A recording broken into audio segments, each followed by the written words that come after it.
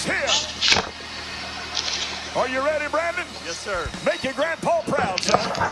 Article number 10, we believe in water baptism by immersion.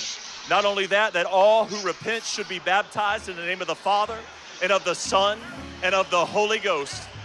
You ready to be going? Bishop, you've been leading us in the last years in the Great Commission, the finished commission.